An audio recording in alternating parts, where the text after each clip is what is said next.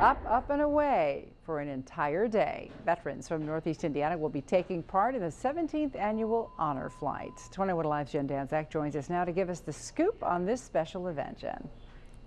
Melissa, it's been 17 years that the Honor Flight Northeast Indiana organization has been conducting these flights for veterans, but this year it's extra special. 86 veterans, alongside their guardians, will be leaving Fort Wayne International Airport tomorrow morning for an eventful trip to Washington, D.C. A visit to the National World War II Memorial is set in place, as well as a wreath-laying ceremony.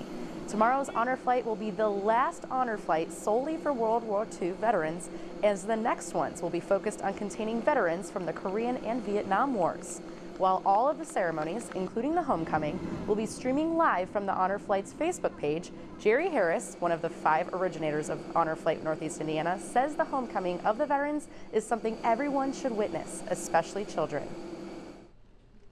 You have to be able to see that as a young person, yes, I can change history too. I can stand up for my country. I can, I can be my kind of hero as well.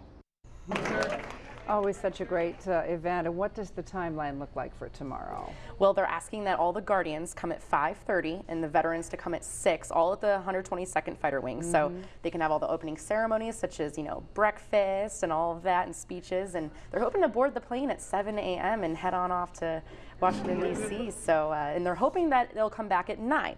Right. So anyone who wants to come out for Operation Homecoming is welcome. And yeah. of course, we'll be airing all of that on 21 Alive tomorrow morning as well as the nighttime. Yeah, they get a big send off and then a big welcome home. Exactly. So it's a big day for those folks. Thanks a lot, Jen. Mm -hmm.